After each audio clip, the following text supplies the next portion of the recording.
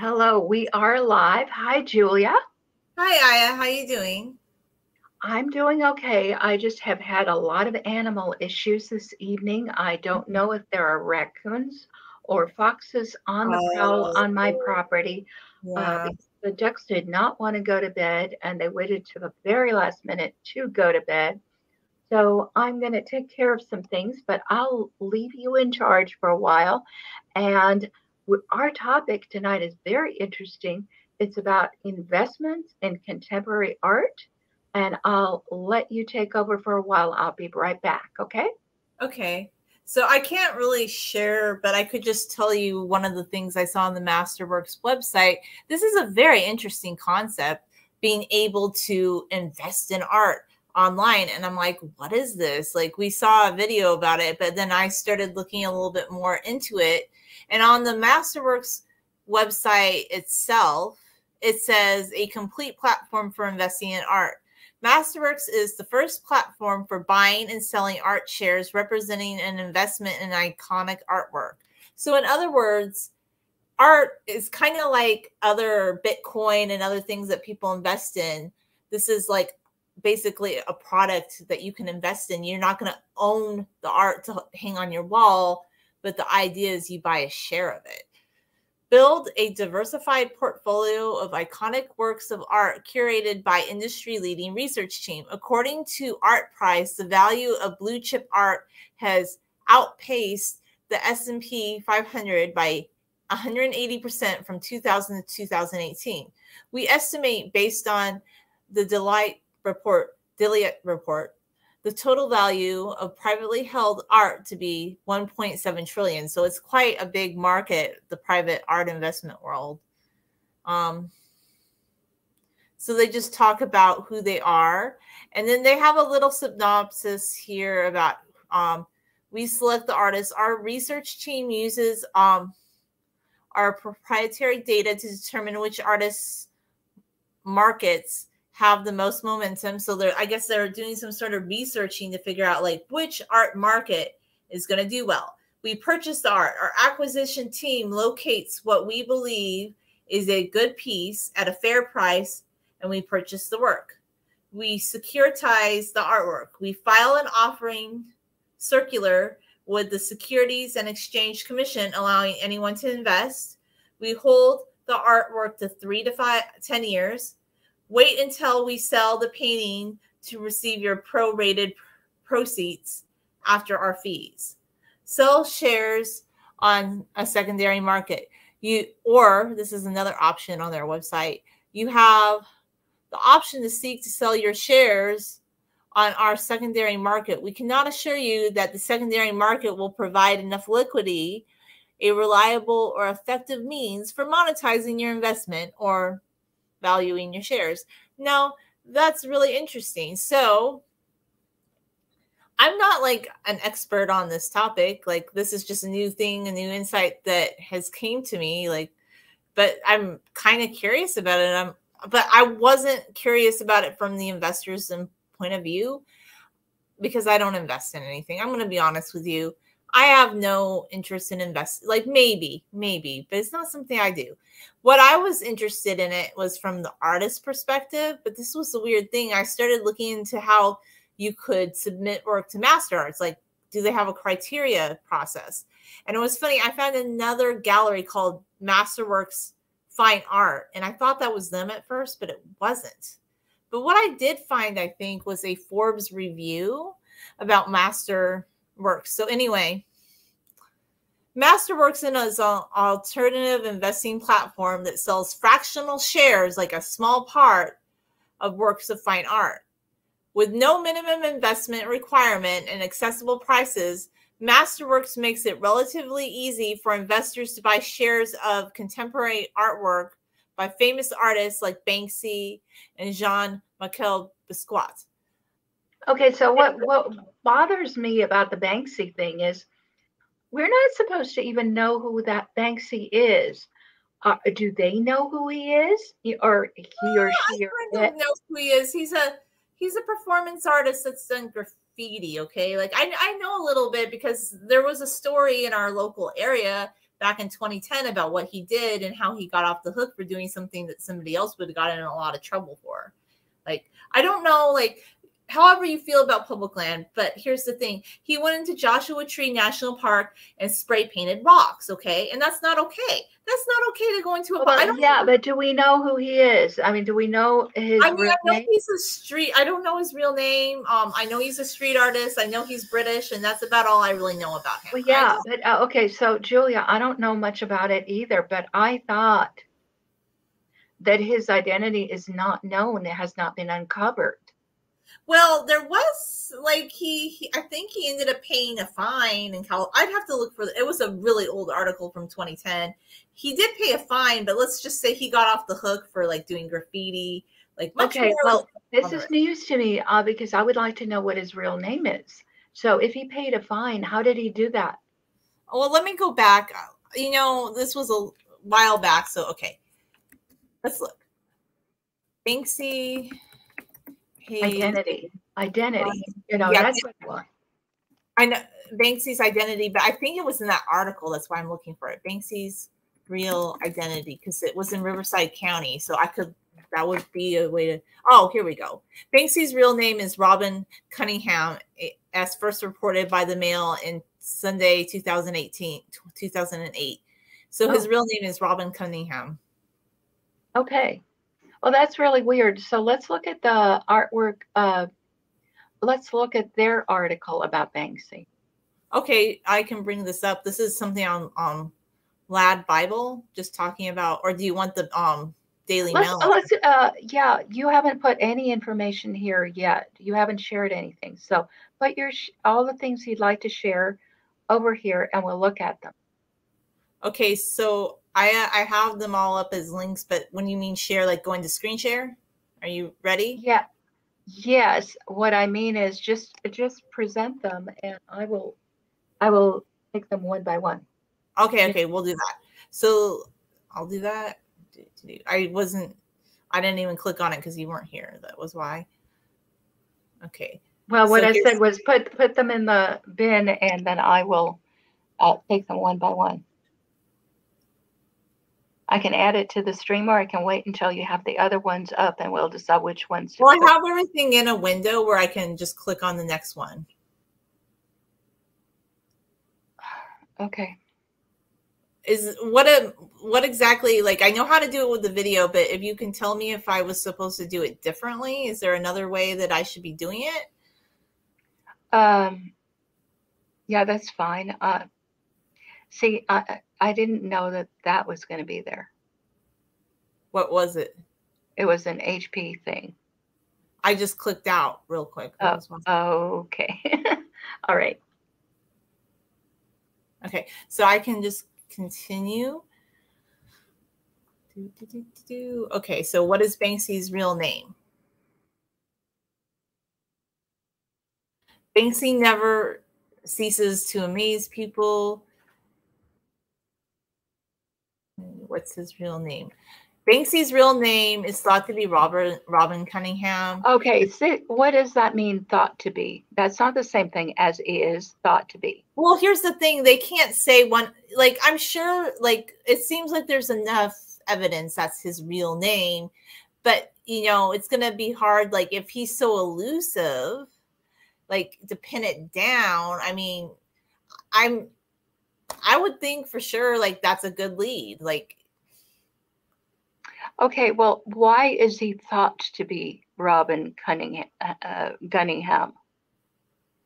Well, the next paragraph says there has been a university study to identify the elusive Banksy in 2016. Researchers at Queen Mary University of London did some detective work and listed down Banksy's movements as measured by his artwork and Cunningham's known movements, and they found the two matched up.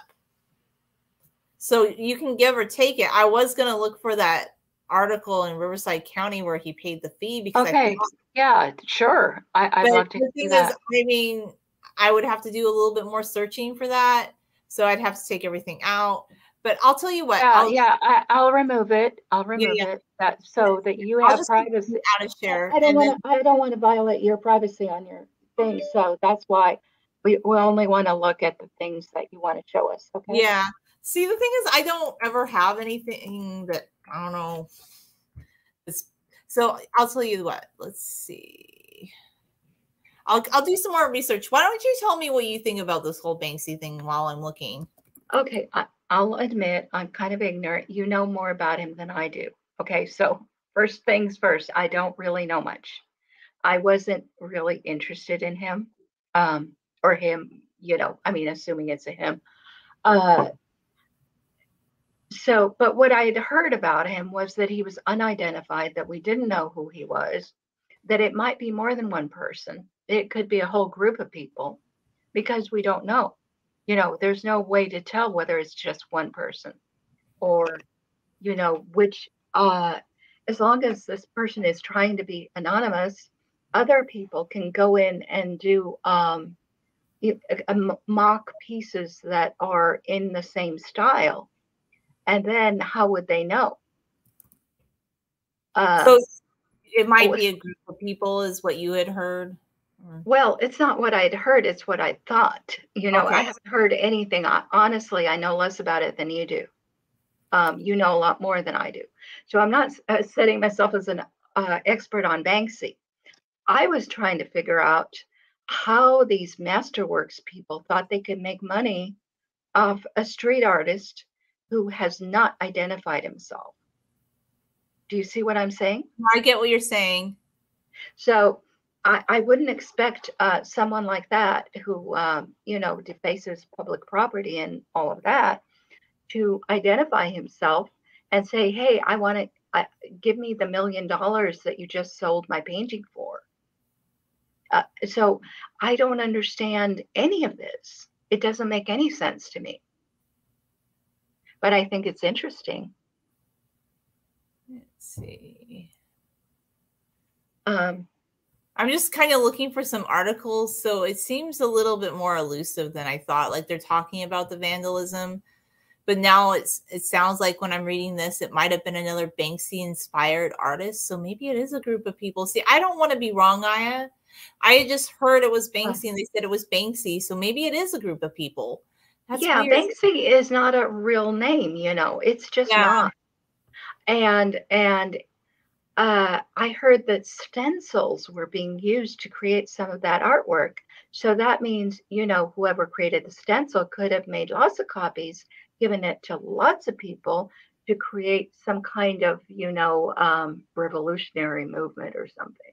Okay, so here it is. Jerk artist, um, the face Joshua Tree of art. I guess it was somebody in the Banksy movement. Like he's a Banksy aficionado, and his name was Andre. So he's somebody. Okay. Yeah. So I see. I could have misspoke. Like I'm sorry. I had read and they said yeah, Banksy. Yeah, yeah. It's it's not that I know who it is. It's not like I can say no, Julia. Yeah. It's not that person. I don't know who it is, but I don't think anybody does. Or if somebody does, I I don't think they can sell his work in a gallery. Do you see what my concern is? Yeah, well, the thing that really made me mad about that, the facing the rock thing was like they were just like, "Oh, you get off," and then a lot of people copycatted him. And this has been a problem, like not even in Joshua Tree Park, but just like people going out and spray painting big boulders, and that really bothers me. And it's getting worse and worse, like with social media, because they it's like I was always taught you don't do that. And now people are just going out and they're just like painting like boulders, like they think it's really beautiful. And I just don't think that's art. Like I think that's destroying nature. Like it really bothers me a lot. I understand. I I'm not part of that movement. No, I know you're not, but that's what like maybe it's not being I don't know what part of maybe it's just somebody that was inspired yeah, No, no, no, I don't know who Banksy is, and I don't know if it's one person. Okay.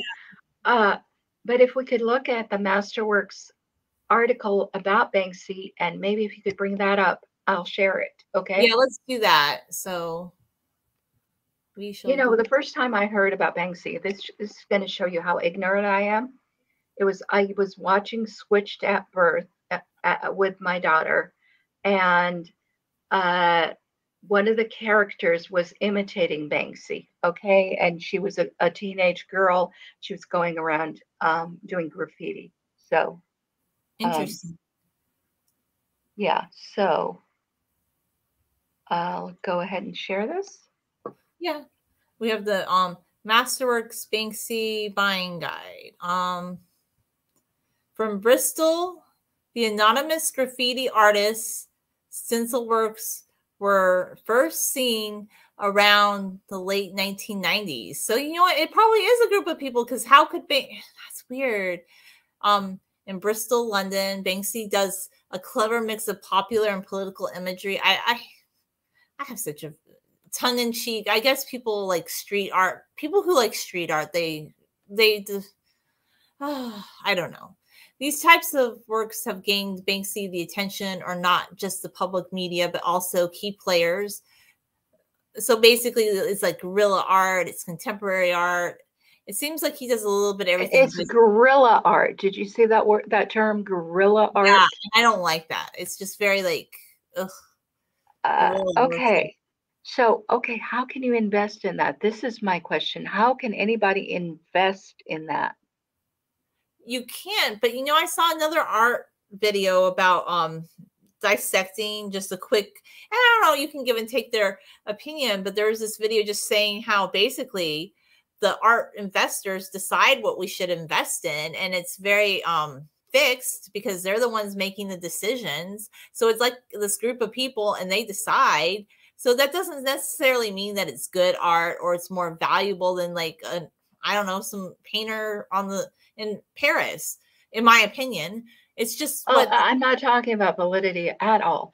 I yes. uh, right now, uh, let me explain what I'm trying to figure out. Okay, I'm not trying to invest in art. I wasn't thinking, oh wow, this is a great investment scheme. I want to know how it works. I want yeah. to understand both from the artist's perspective and the investor's perspective what in the world is going on here? Is this NFT?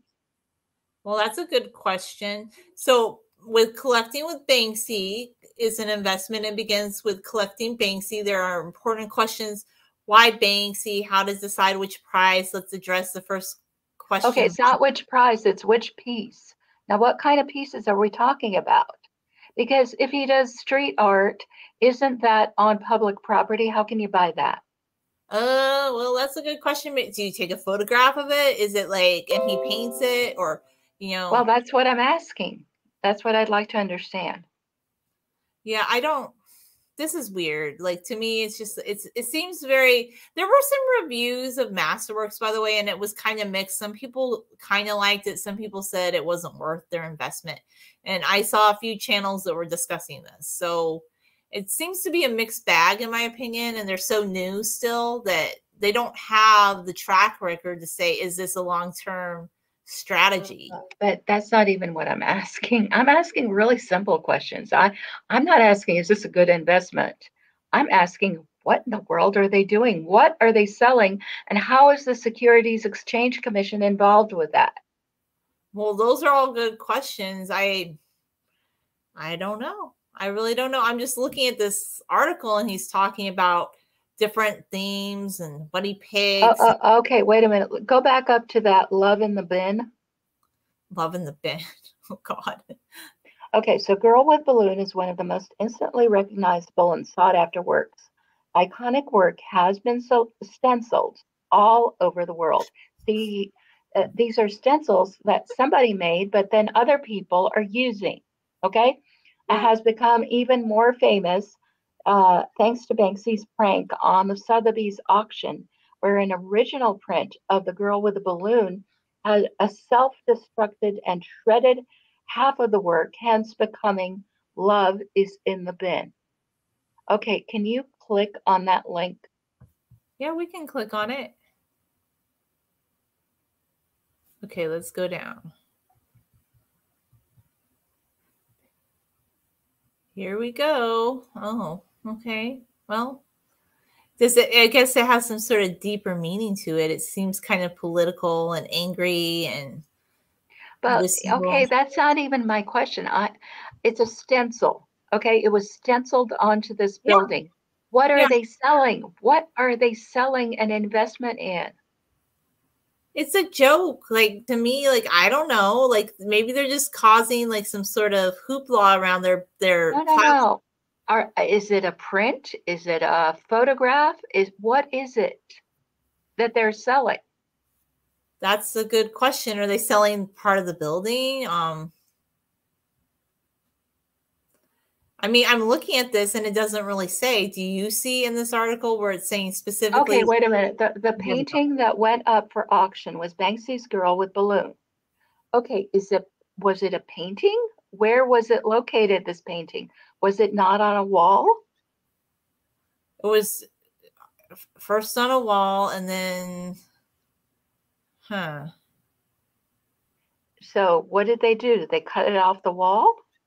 You know, it doesn't say though. I'm looking at the whole article. It doesn't say exactly like how they sold it. And they even say their business model is you don't really own like you can't put the painting that you're buying on the wall, you own a share of it. I feel like it's kind of a I like so, to think about are they like are they legit? That's my question. Maybe they are. I don't know. It's just kind of weird. I just want to know, you know, as a lawyer, okay, not as an artist, as a lawyer, I I want to know what they're selling. Okay. Okay. You see I, what I'm saying?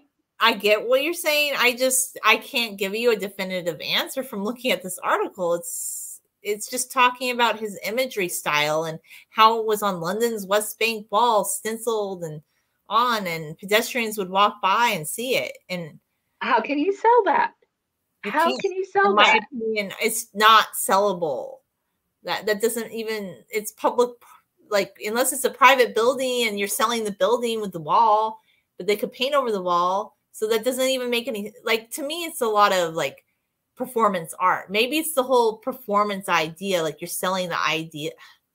I well, don't Julia, uh, first of all, if if this person's identity is not known and oh the, the stencils have been given away to lots and lots and lots of people. It's not even clear who owns the copyright to the image.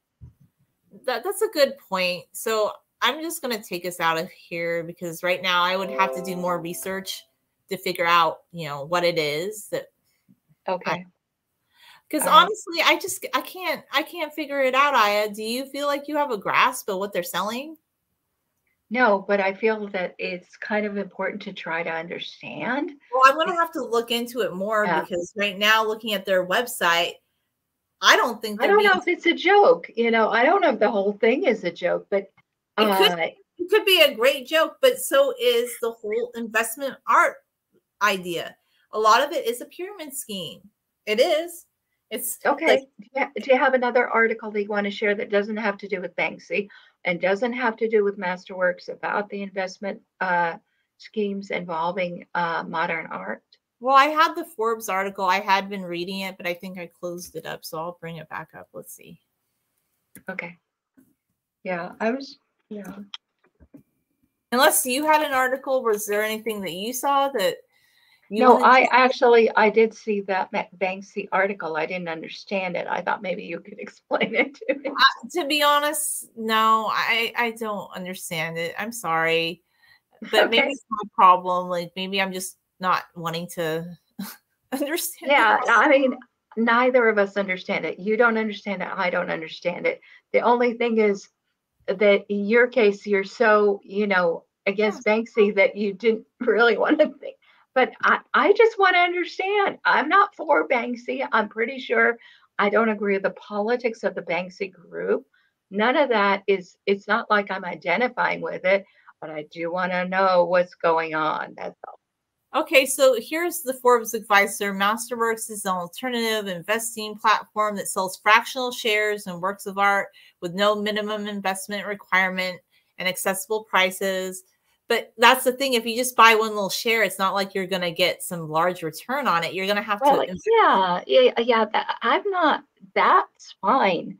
If you you know if they said julia hanna's beautiful painting you can own one one half of one percent of it uh, yeah i could understand that because you julia would have to agree to sign over your rights uh, to the painting and then it could be divided among a lot of investors, and each one would get a small fraction of the return on investment when they sold your painting for a million dollars.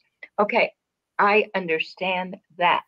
Yeah. But how can they sell Banksy's paintings, which are painted on public property, and Banksy is not a real person, and uh, it's all based on stencils, and we don't know who has the copyright to the stencil. We don't. And here's another thing that's interesting. Like, I guess they're going to go, maybe they'll break it down a little bit. They have some pros. Masterworks uh, makes it relatively easy to buy contemporary artists. Um, the platform offers good research, but my question is who does the research and what is it based on? And support services. It features a well designed, easy to use interface. If you're looking to diversify your portfolio by investing in artwork without spending a fortune, Masterwork offers a compelling option. So the pros are the platform provides good investment research on artworks and contemporary art market. That's one pro. One con is fine art is relatively high risk investment with no recurring income stream. Masterworks handles the entire process finding, purchasing, and storing. It could take, and I read this on their website, three to 10 years for the company to sell an individual artwork. But how do they sell something that's a stencil on a wall? Even this yeah. isn't telling me. I don't know. How do you sell a stencil on the wall? It's kind of like the whole concept of selling thin air or the like little shyster guy that would sell the bridge. Like, like you can't buy the bridge. Is this like a high form of that? I don't know. Like selling a bridge to somebody who's like, oh yeah, yeah, I could buy the. I mean, I don't get it. Even this doesn't seem to be answering my questions, Aya. I don't know. You know. Right. Yeah, it doesn't answer the questions. I mean, I understand the basic concepts of investing. Of course, yeah. No, you you know a lot about investing. That's why yeah, no, I mean, I wish Brian were still with That's us. That's what I was thinking too. Like, I was just sitting there and I was thinking, what would Brian think about this? And I wish, like, I feel like Brian's here with us in spirit in a way. I'm like, I could imagine him saying something about it, like, but I wish I know what he'd say about it. you know, yeah, it's a good option for people who want an alternative investment in their fine art and to their portfolio, but would prefer to avoid costs, risk castles. I still don't really understand at the end of the day. Like, I'm going to have to keep digging. Why Banksy? Why the stencils? How? What are you selling? What are you buying? yeah, I don't get it. I'm gonna have to keep looking, Aya. Okay, okay. I yeah, it's not like I get it. I just have questions. I don't have answers. Um, I like things that are a little bit more concrete. I feel like this is some sort of pyramid scheme, but that's just me. Like I kind of feel okay. That okay. So there is, on the one hand, Banksy seems to be some sort of left wing uh, movement. Okay, uh, and it's not really an art movement so much as a political movement, in my opinion. Uh huh. You know, they're they're uh, definitely on one side of the spectrum politically and not on the other. Um, and then this is supposed to be a business scheme that people who have a lot of money are going to invest in. Yeah, it's kind of strange. Well, I mean, they did sell Banksy's Mona Lisa for 1.5 million. How did they sell it? So that's what I want to understand. I saw that. I saw that. What does Banksy's Mona Lisa consist of? Is it a stencil? That's a that's a good question. So I have to go in and type that in. What does Banksy's Mona Lisa consist of? Great question. Um, the protagonist of Leonardo da Vinci's yeah, yeah, I know. I've heard of the Mona Lisa. Thank you very much. I'm just reading what it says that it's a protagonist, like it's like supposed to be kind of mocking it in some way. What is the content? Well, let's see. Other stuff is coming up. That's not what I want. I want the Banksy one. Okay. So, well, here's something here. It just shows Banksy 1974 and is showing the Mona Lisa with a target on her forehead, holding a machine gun because, of course, it's guerrilla art. Like, yay! Like, it's just not. I yeah, guess. I, I get it. I get it. But where? Uh, how did they get something by Banksy? How That's a question. And now that I'm reading this, it doesn't say like what it's painted out of.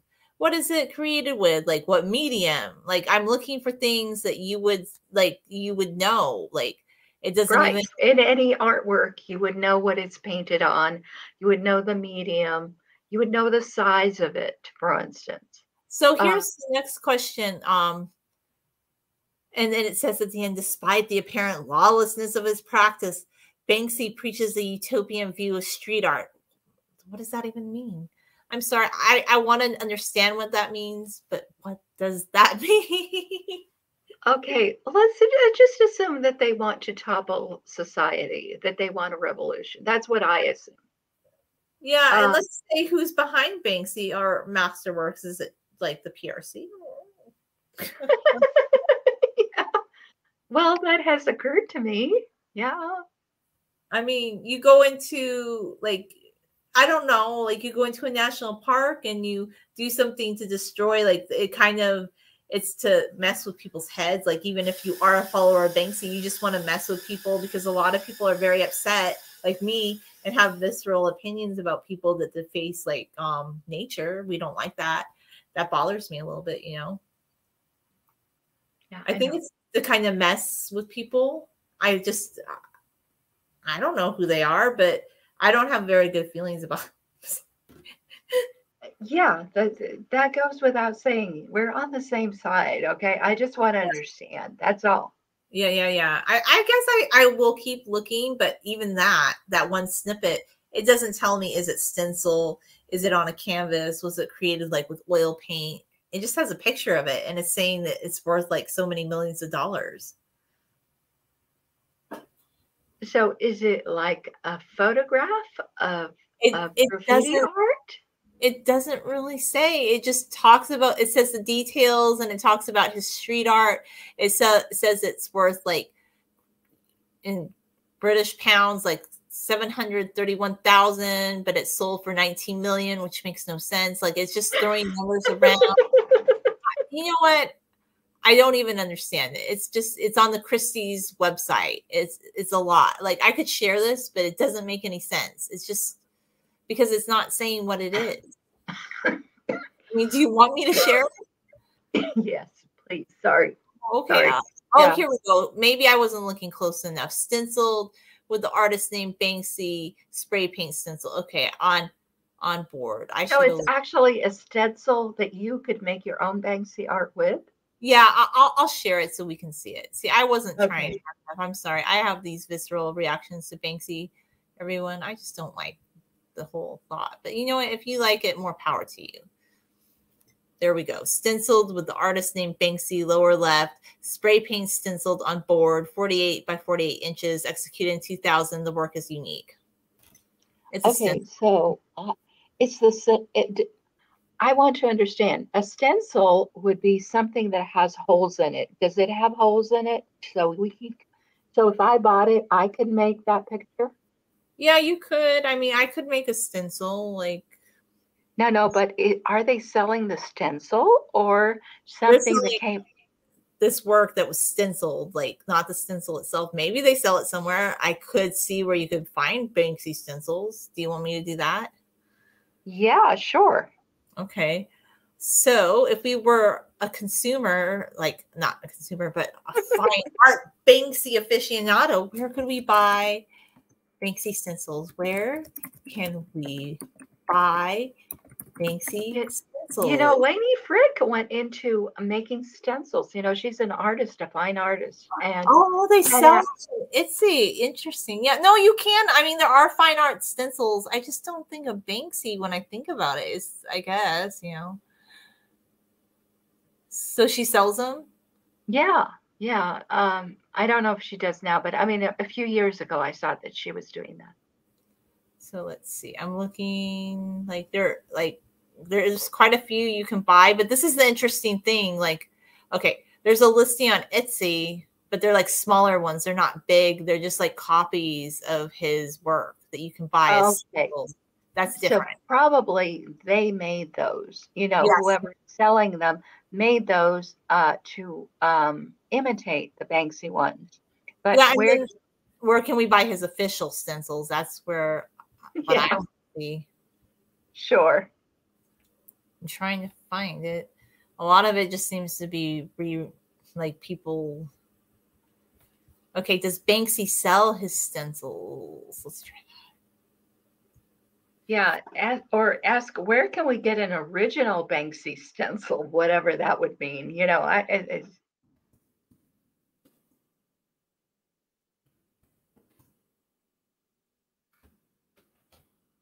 Okay. Oh, oh my. Now, there's one a Banksy rat stencil for three thousand five hundred dollars. uh okay, tell me again, what is it that we're looking at?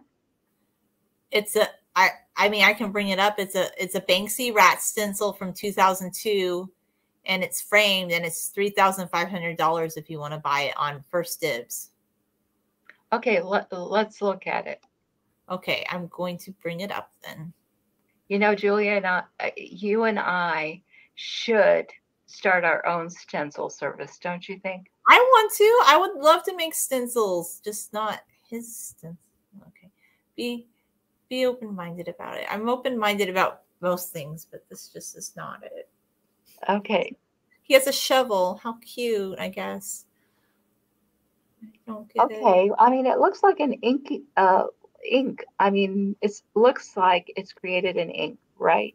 Yeah, it says maybe it's a it's a it's a well, it says it's an original. That's what it said when I did the search. So that's I don't know was- what that means. You know, if it's made from a stencil, how can it be an original? You you do see what I'm saying? No, it's not. A, I mean, it's not original original, but I typed in Banksy's original stencil. It's, it's not. It's a copy off the stencil, of course, obviously.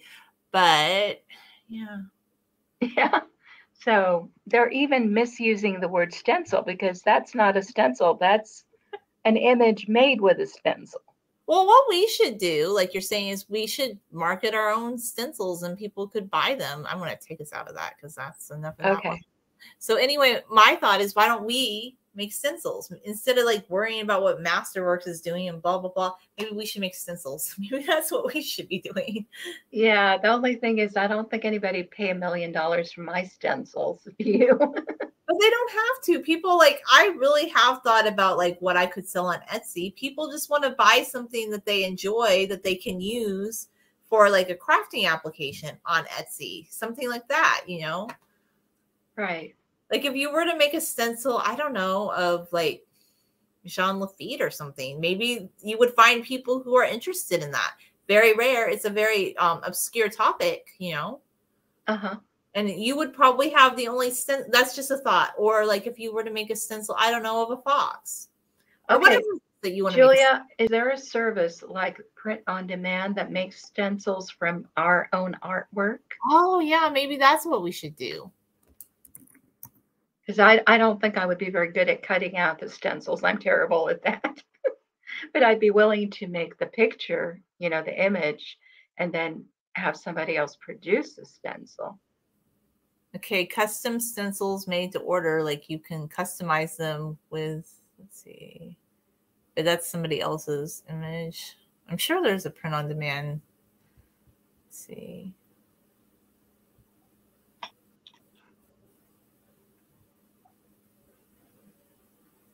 Well, it seems like there's lots of custom stencils made in the USA, like looking for custom stencils. Like I'm seeing a website called Stencils Online, and it looks like they have different things, but that's their stuff. Like, okay, how to Or turn maybe, maybe you really need one of those, um, what do you call those printers uh, that create things? Yeah, Um, we need one of those like 3D printers, right? Yeah, that's right. So with a 3D pr- printer, we could make our own plastic stencils. That's so true. Because I'm looking a lot of this up. I'm guessing that's how people are selling stencils. They're probably they probably own a 3D printer. Hmm. Like, would you think not? Or they're cutting them out, I guess, maybe on their own. I mean, back in 2002, I think they still cut them out. Now they they're probably mass producing them. Yeah, turn your logo into a reusable stencil. I'm seeing a lot of tutorials on it. How to make your own stencil. 3D printer to make stencils. That's a question. 3D printer to make stencils. Okay. Tattoo stencil printer. Flash, like there's different, it looks like there's different printers you can buy that will do it for you. How to make a stencil with a 3D printer tutorial. I mean, there seems to be like the thing ways to do it if you're interested. I see quite a few resources on it. Yeah. I mean, right now I'm not ready to invest in anything big like a, a 3D printer. So if they had print on demand programs just like uh, Amazon has, then I would be willing to try that because it wouldn't cost me much.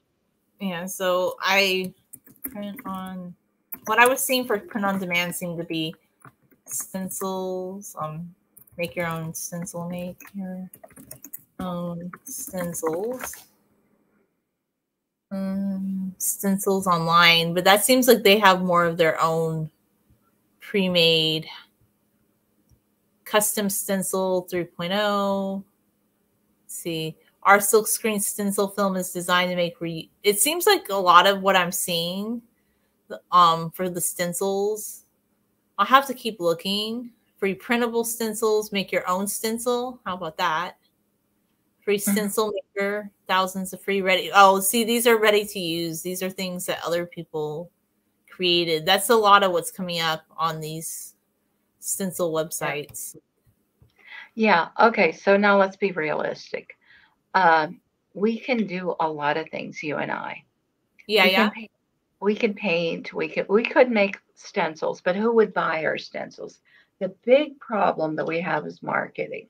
Yes. Uh, and the uh, the amazing thing about Banksy is he made stencils and he got all sorts of people to commit crimes with those stencils. Um, how did he get them to do that? I don't know. That's the thing at, at the end of the day. Like, I guess people want to be street famous and they want they but in an anonymous kind of way. I mean, it's kind of like people who join anonymous and they want to be hackers and I don't know. I like we kind of knew that somebody in our complex like belonged to anonymous because they had the the picture in their window. It was kind of creepy and weird but like some people will do these things because they want the street cred i guess. Okay. I, oh, I, the person who has a picture of anonymous in their window is probably not you know anonymous. They might not be but they might just be a fan i guess. Yeah they're a fan that's so it still doesn't explain the people who actually do this stuff. What did they do it for? I mean, just to know that they did it, it's like a psychological high, I would think. Like, because they're not really making money off of it, except for the Banksy group. They're somehow making money off. It. They they are, but the yeah. copycats, they're not. They're just doing it like like all the little copycats that went into Joshua Tree, and then after like somebody defaces a rock and they do it, they're not making any money off doing that. It's just like for social cred, I think. And then they put it on their TikTok and and yeah, but I mean, it's like asking what why would somebody uh, become a you know a, a terrorist, a, a person who blows himself up, a suicide bomber? I mean, I, why would they do that? You know, I don't get it. I don't get it either, but they're just like they're motivated by a dark side of their I don't really understand that that mindset. Yeah, so there's a lot that we don't understand, and until we understand it, we can't fix anything in the world. You know, we can't make anything get better. Um, this is just an art channel. I'm not trying to fix the world, but still, it's good that you have these philosophical thoughts about it, though. It's interesting. Yeah. So, I mean, I'll tell you what, to, to lighten things up, I'll share my recent paintings so people Yay. won't think this is not an art stream. Okay. Oh, goodness. Okay. Thank you. Thank you.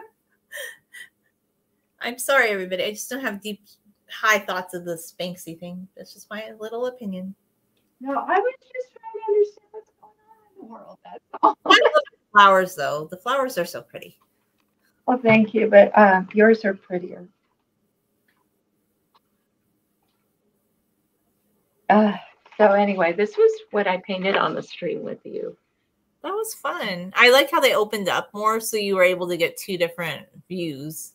Right. So the earlier one, um, where the hell did I paint that? I don't even know where I put it because Bo was messing around with my, uh, oh, there it is. That was the earlier view when they were kind of more closed. That's cool. But I, but I don't have a lot of control over the um, colors. You know, it's not really the colors I would have chosen to paint, but it's, you know, it's what I had in watercolor. Yeah, watercolor is more limited. Like I showed you that metallic um, palette, it's all metallic, and then it doesn't even have like brown. Like what I thought was brown was like a different type of copper. It was interesting. So this is what Bo painted, and you know, if we were going to do gimmicky things, we could say, well, this is painted by a chimpanzee, so it's probably worth a lot of more money than anything that I paint. Maybe you should sell it, Aya. Maybe people would buy it. people love Bo. Like I don't know.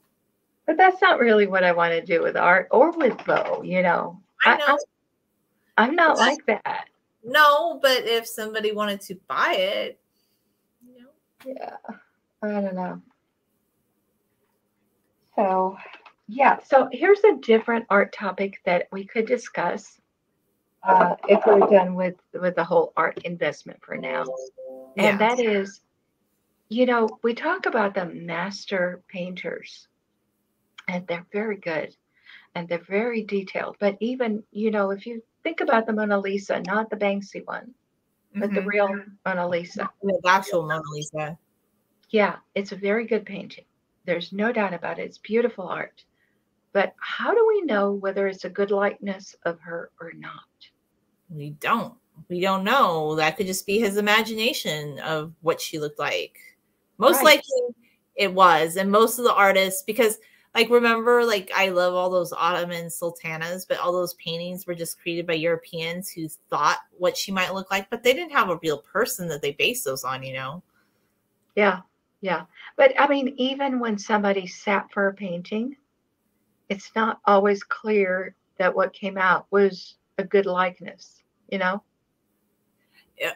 There's a story about that actually. Um, Anna Cleves. Oh my gosh, like um oh yeah, um basically Henry VIII was deceived into believing that she was more beautiful than she actually was because she was not very attractive at all.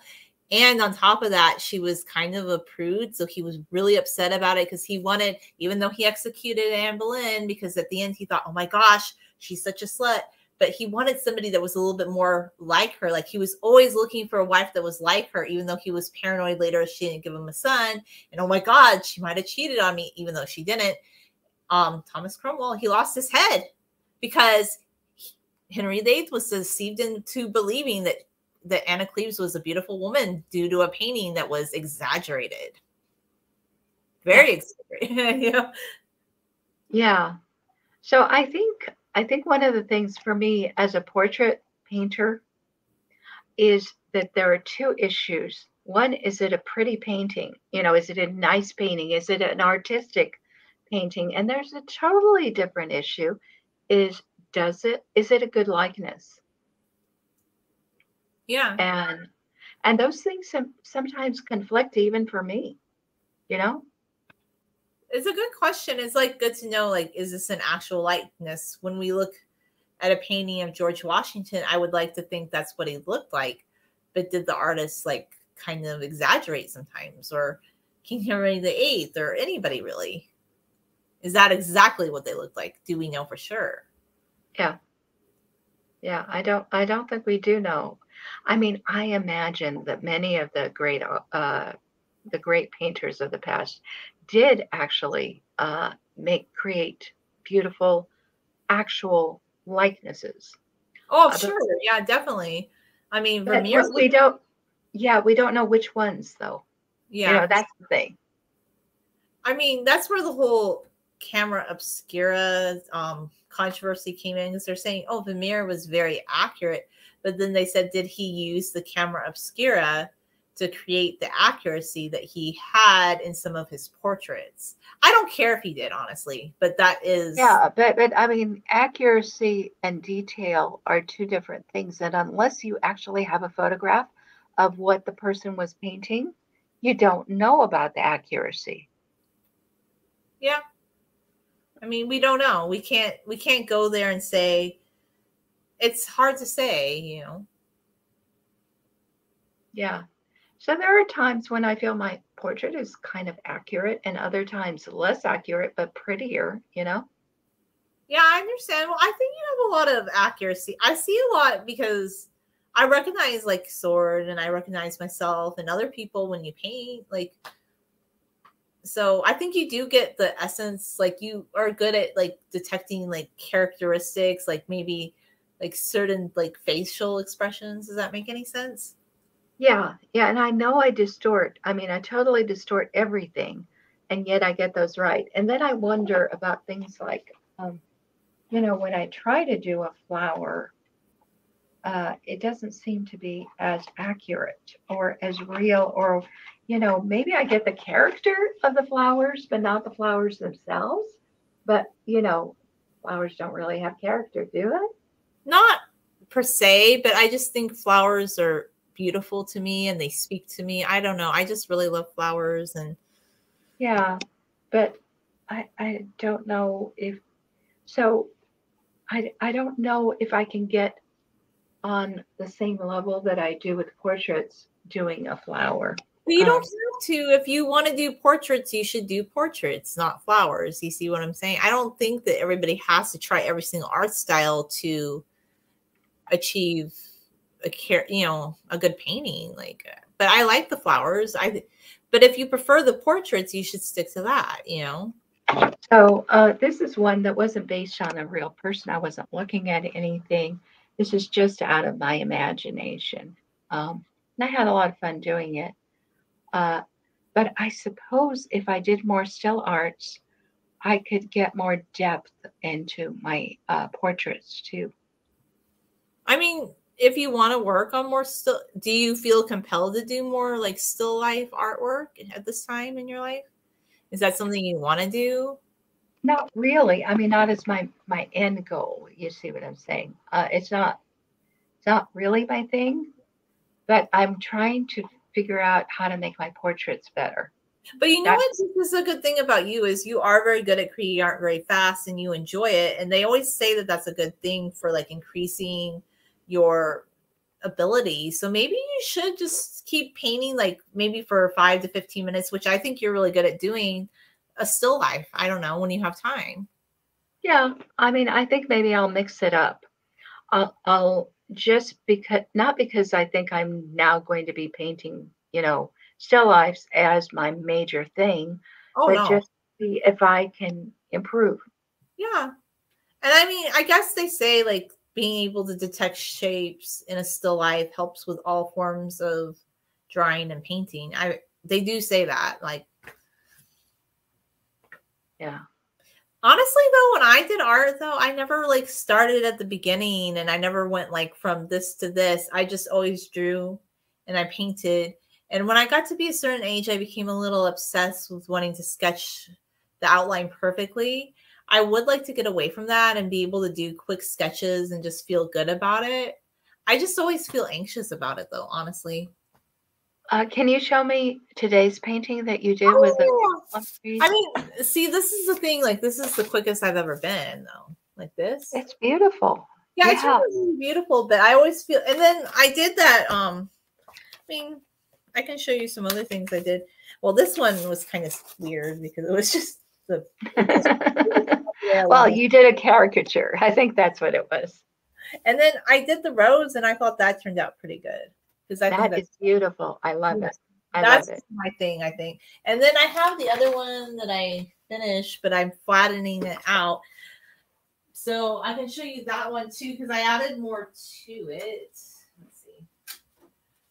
But then it just became more of a, it's more floral now. Uh huh. Yeah, so right. Like there we go. Yeah. I love the vase and and the flowers. They're beautiful.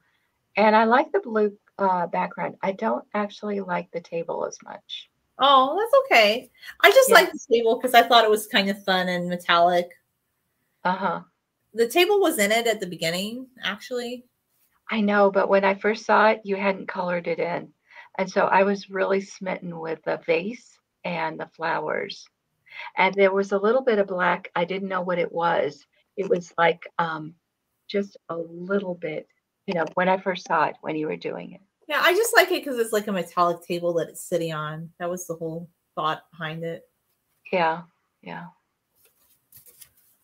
You don't have. I mean, I liked it because it's just to me. I like tables and No, it's not about the, you know, it's not about not liking tables. It's, um, it's about the perspective.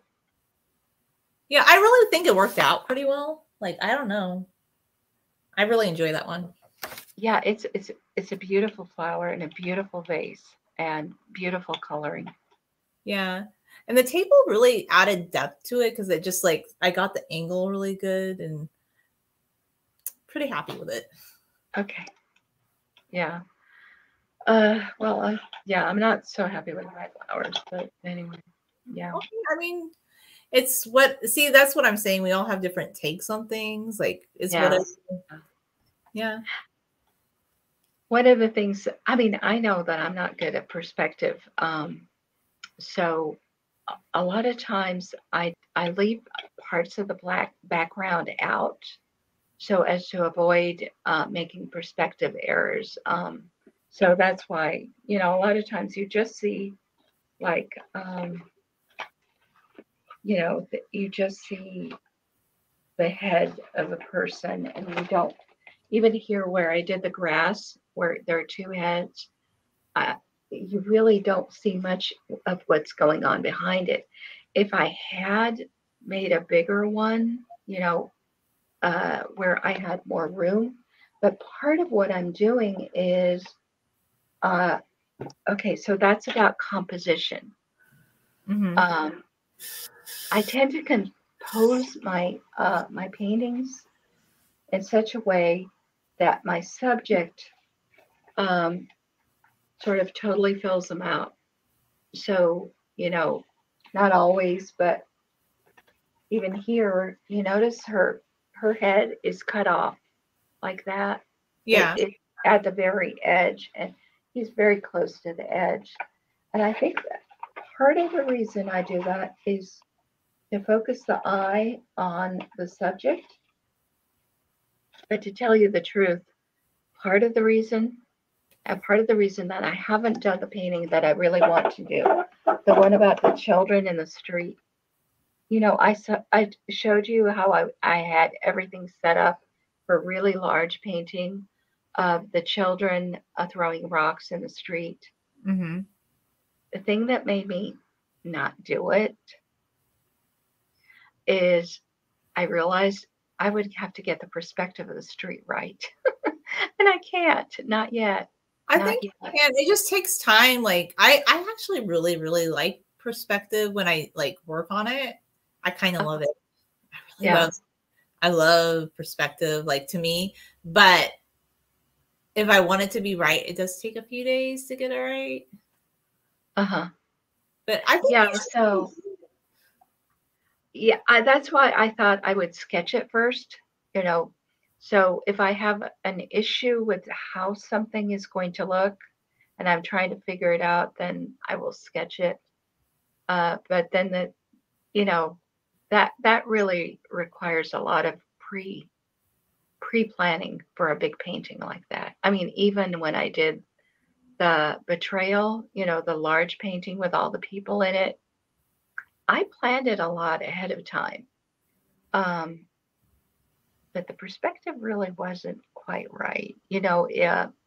So I got I got compliments on that painting. And I remember one of my Chinese professor complimented me, said it was very nice, but very uh, accurate on the faces. And I said, yeah, but I didn't get the perspective right. And she said, well, I didn't say you got the perspective right. you know, she was like she was aware that I didn't have it, but to her it wasn't important because a lot of the earlier Chinese works don't have perspective. You know, they're kind of flat. Yeah. Yeah. So it a lot of the Persian works also are like that. yeah, yeah. I would say Ottoman. Well, like even in the book, like the Ottoman artwork. Is there example? Well, like here's an example of Suleiman. It's very flat looking. I mean, I don't know if you can see it very well or not, but there isn't a lot of depth to it. Yeah, that's right. That's right. Yeah, I can see that.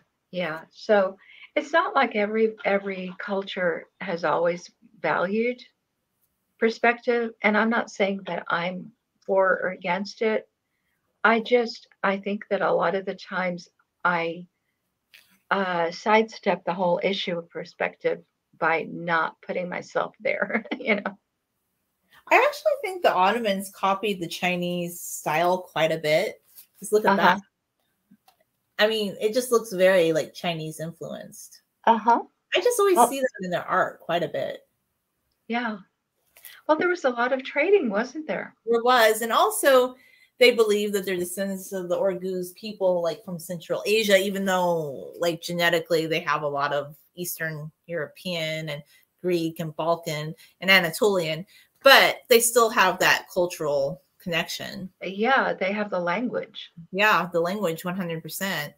Mm-hmm. and right. if you speak Turkish, I think you can understand Turkic and you can also understand some of the Yakut language. It's interesting. That's what I was hearing. Yeah, I'm I'm very interested in that. That's why I thought, you know, you and I could we could study Turkish together. I've got to get that Turkish book. I really want to. I do want to learn how to speak Turkish. Uh huh. Things on my list. You know, I really need to do it. We should. We should definitely do it. We should get somebody to teach us. I know that's the thing. I would want somebody who could teach. That was my thought because that's why I actually wanted Kate's contact, but I don't know with COVID, it seems like he just never got back to me, so I didn't bother him. Yeah, well, I don't think it has to do with COVID because I mean, what we're doing is very safe. You know, we're very not. Safe. Yeah, he just, I don't think he wanted to do it because I asked him and he's like, oh, with COVID, I have to be safe. It just seemed like that wasn't, but my friend told me once, she goes, yeah, people could Zoom and they were using COVID as an excuse not to keep appointments. And it was getting kind of flaky. It was getting kind of weird. She goes, COVID doesn't keep you from doing a Zoom appointment. And these were professional appointments and they were just flaking on her. And she's like, okay, mm. that's kind of weird. Yeah. I don't know. I guess we could learn Turkish on our own with just a grammar book. But if we could find somebody, a guest that teaches Turkish, that'd be great too. Yeah, yeah. Um, I don't remember exactly where I put my Turkish book, but it was it was uh, teach yourself Turkish. It was something like that. Where did you purchase it? Like uh, maybe I could get the same one. I wonder if it's still in print. Like I don't know. This was this was about forty years ago. I I'm giving away how old I am, but no, no, I it's probably a good book honestly. It's probably uh, a good book if it's still in print. Because i find a lot of the older books just taught language better taught everything a little bit more detailed you know? Yeah i think it was geared to a british audience and they said uh, and be sure not to talk like a british woman when you're saying this. Oh that's interesting. Okay. Uh, they said that british women uh, speak too high they their they cast their voice too high. oh, yeah, I kind of have that um upward terminal too, where my voice on. No, no, no, no, no, no, no, no. It's not the rising intonation. Uh, yes. It's uh, that they just have higher pitch, like oh, blah, oh. you know, like that. It's the whole thing. It's not like at the end. No, no, the, the whole thing. Maybe they want to be feminine or something. I don't know. And they so they they talk too high. Like we know that, for instance, Israeli women talk lower. So if a woman uh, is bilingual in English and Hebrew, her voice probably sounds higher when she's speaking English. That's interesting. You know what's it just bothers me is even with Americans, people are always telling me I don't speak loud enough or maybe high enough. I'm always getting complaints that people can't hear me. Oh, well, that would be loud. That would be loud, not high. I don't want to be screaming. And it seems like everybody's screaming in public, and I just really hate it. Like, I just, why can't people speak lower? That is one thing. That's one complaint. Have you noticed that? Probably well, not where you live. I don't know. I, I don't, I don't, don't get out much. I don't like it when I get out. Uh, you know, this weird thing happened when I went to the grocery store. So I was I, I had already put my credit card in, and there was uh, one lady was uh, at the register, and another lady, a, a big lady, was on the other end talking to her. They were talking to each other, and I thought she was bagging my groceries. Yeah, you know? I would think that, right? Yeah, and and my cart was there. If she hadn't been there, I would have been bagging, you know, putting the bags immediately into my cart because I always do that. And by the time, but she didn't put them in the cart, but she stood there so I couldn't go bag them. And then at the last minute, she says, Could you move over? Because I have to get back to my register. So I had to move over so this really big lady could get past me. And she she ran into me a little bit. You That's know, she, rude. Wow and she hadn't done anything to help. And so then I had to go put all of my groceries and the card was still over there. And this other lady uh, who, who was next in line came and stood by my card. What? My card. That's weird. That's, so yeah, people don't have a lot of space. I feel like sometimes I, and sometimes I, I haven't had that, but okay.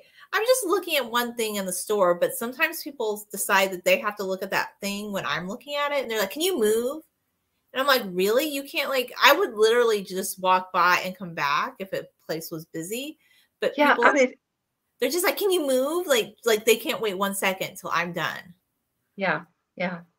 So I, I try to avoid people because, you know, I, I didn't say anything to anyone and the lady when I went back to my card and the lady was still standing there that was it, she said, Oh, excuse me. And I said, Okay. and you know, because I don't want to get mad. I don't want to so, but I try to avoid going in public, especially when there are lots of people out. Yeah, yeah, it's probably best. But I just one thing I've noticed I don't, I work, I go shopping, but I just notice people are talking. Well, they've always talked really loud, but people are just really loud and that's actually a complaint like um one of the things i saw in a visiting turkey video was they were saying if you are in turkey and you're in public spaces try not to be as loud because a lot of americans go into these public spaces or like churches or mosques and they're like screaming. Wow. But i'm like it's kind of like getting like that in places where you were traditionally supposed to be quieter and like like libraries. You're not supposed to be loud in a library so I keep my voice lower because I try to model like you're not supposed to be loud. And then these people are just like getting louder and louder, but I'm not going to budge. Like if you're being really loud like that, it's disturbing other people. So I try to keep my voice lower, you know? Yeah, libraries were supposed to be quiet, uh, safe spaces. Yeah. So like if somebody comes in and they're screaming, I'm not gonna like high make my voice higher to match what they're saying just because they think I should be talking louder. That's distracting people. And then also just in stores, I just feel like, yeah, I don't love going to like concerts or big events, but I just think in stores we don't need to be as loud. But I guess I'm weird. Everybody else likes to be loud and very boisterous. yeah. No, I I was one of those people who couldn't go to the pep rally without putting um you know, cotton in my ears because I couldn't stand the noise. Yeah, and I I never even really liked like I do remember I think it was even more so when I was younger like I was I actually wanted to be homeschooled like I wanted to finish the rest of my high school at home and we were looking into that but they said at the time you couldn't do it and part of the reason was was because two different times somebody came flying out of the audience and landed on me I can't even explain why that happened. And then when we went to go talk to the principal about it, he acted like I was the one with the problem. And I'm like, you guys have a crowd control problem. There's people literally like jumping out of the audience to land on people. And you're not worried about it. They're like, well, it's a fun pep rally for a fun event. I'm like, that's not even a pep rally. Like people coming flying out of the audience to go do so, like they can't walk down the aisle. yeah. It's like a it was weird. But anyway. yeah, I, I think neither of us like loudness. And I'm a, you know, I can't even speak up, you know, because my lungs are not good. So I can't yell. It's very. I, I yell. I try to say what I'm saying, but even then, people are like, I can't hear you. Like, you can't hear me. I don't know. Sometimes I think people want to get a rise out of someone. So they say they can't hear them until the person yells, you know? Yeah. And when you yell, it kind of makes you angry. You know, it does me anyway. Yeah. So it, it creates a, an emotional response, you know. Yeah, and I think that's what people want. But I just, yeah. Anyway, I know that's kind of um gravitating away from art, but this was an interesting topic. I I never would have thought about it if you hadn't brought it up, the masterworks. So yeah, yeah. I'm sorry that we didn't get down to the bottom of it, but maybe I mean, we in the future. We probably can. I guess maybe it's because I feel like I started having this aversion when Banksy came up. I was just like, uh, and there isn't quite a lot at the beginning of the searches. I think you have to dig deeper and deeper on this one. Yeah, maybe this is just another one of those NFT things. Um, yeah, it probably is. And it kind of gives me that feeling like Soylent. You know how you felt about Soylent? Like it kind of it kind of irritated you a bit. I yeah. Think I, think I feel the way about Banksy that you kind of felt about Soylent. So that's kind of what's yeah. Yeah, no, I'm not a Banksy fan, not no. at oh. all. I, I just wanted to understand this Masterworks thing.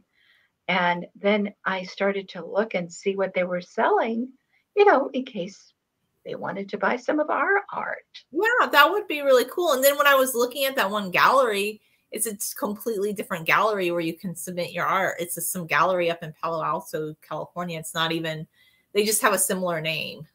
Oh, uh-huh. But they've been around longer than Masterworks, which was only created in 2017. So I don't know. Are they just lucky that they didn't get sued? Because I'll tell you what, some other companies would sue like for similar names and things. Well, okay. What I've, I've noticed is the bigger companies always sue the smaller companies. Yeah. Or a small company, they want to steal something from you. Yeah, like I've never even heard of this cookie company company called Crumbl, but I guess apparently now they're suing Crave Cookies because they said Crave Cookies in Utah is making cookies like Crumbl, And it was just something that popped up on my feed. And I'm like, I don't even know who Crumbl is or Crave Cookie. I don't eat that many cookies, not anymore anyway. Um, and I never loved cookies that much to begin with. So I just, I was like, oh, okay, that's interesting. well, Sword knew all about Crumbl. So uh, you know, I hadn't heard of it, but when we were visiting my mother in Bloomington, and Sword found out there was a crumble in Bloomington, and there isn't one where we are. Mm-hmm. So, uh, yeah, we had to visit the crumble place. what is it exactly? Is it it's just like designer cookie or like? Yeah, that's exactly what it is. I guess they change which cookies are available each time, and then they have these weird recipes. Um, it, it's kind of a gimmick. It really yeah. is. And that's what okay, that's what the TikToker lady was talking about. She's an older lady. She's like my age, like in her 40s. She said, okay, so she went to a crumble every week and she really liked crumble So she recreated her own like copycat crumble And I guess she got like a DM from crumble saying, Oh, you better not do that. You better take down your videos. So she stopped going to crumble because it was very intimidating to her, right? Because she's like, I'm just making a video. Not most people can go to crumble There's not that many crumbles So she was still making cookie videos, and another company called Crave Cookies like reached out to her and they said, Oh, you can make our recipes. It promotes us. We love it. And then I guess she heard recently that Crumbl's suing Crave Cookies in Utah, like a smaller cookie like company, because they apparently like um like infringed upon their copyright, but it's all cookies. I didn't know cookies were copyrighted, but um. I'm sure it's not copyright. Maybe it's a trademark. Yeah, maybe it's a trademark thing. But I that was the first I had heard about Crumbl or Crave cookies, and it just popped up on my feed today. I'm like, oh, this must be really big. And then I looked at Crumbl, and they had a sriracha cookie, and I was like, that's kind of weird, but maybe people like it. yeah. Well, Uh, You know, another thing that's uh, very trendy right now is now I can't remember. There's these stuffed animals. Uh, it's not squishy. It's They're like uh, a plushie, right? Like those little plush, plushy, plushy. yeah, but what are they called? I've forgotten the name of it. Uh, I saw. I think I saw one at CVS the other yeah, day. they have they have them everywhere right now, and I Sword knows all about it, and I forgot what it's called. Isn't that terrible? I saw one at, at Costco, like a really big one, and I said to my mom, "Who needs a a, a forty dollar plushy thing? Like whatever it was. It was like a squishy plushy." Yeah, but I don't remember the name. It's just something else. It's called something. Squishy plushy. Squishmallows, squishmallows. Yes, that's it. That yeah, there was a big one. Okay, when we were at Costco, it was like so big, and I'm like, "What is that thing?" And, I- and we're like, "I don't know." And then people were like squishing it. It Yeah, so squishmallows are very popular. Um, when we went to Chicago, uh, there was a whole store with squishmallows, and then there was a competing store with fake squishmallows that were not the, the real thing.